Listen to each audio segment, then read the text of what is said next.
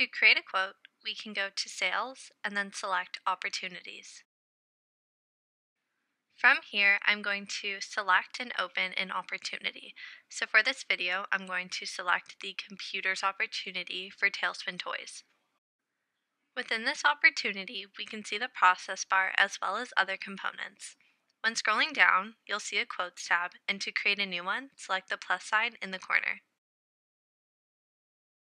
So when a quote is created from an existing opportunity, the information from that opportunity will pre-populate into the quote form.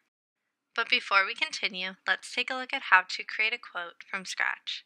So to do this, we will go up to Sales and then select Quotes. Then we will select New. So from opening this form, we can see that both forms, whether you start it from an opportunity or from the quotes entity, they will be filled out the same. The only difference is that the information will be pre-populated from an opportunity if you choose to go that route. So you'll be saving time. Now let's go back to the quote through the opportunity. So I'm going to select the potential customer and for that I'm going to look up more records and then select Tailspin Toys. Next I'm going to choose a date where the quote will expire on. And then at the bottom, you'll notice that you have an option to add a description. Now, if this was an actual quote, all of this information here would be filled out. However, I'm just going to leave it blank.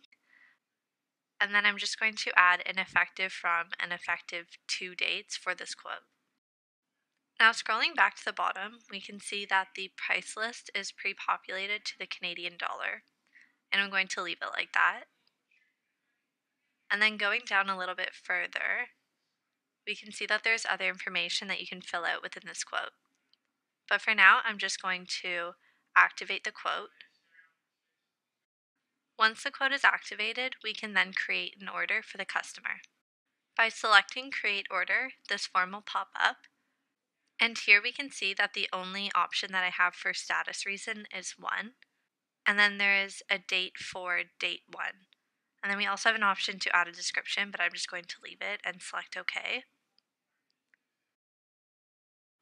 Something to note is that throughout this entire process, you have the option to add and remove any products that you wish by either selecting the plus sign in the top right corner of the product section or the remove button.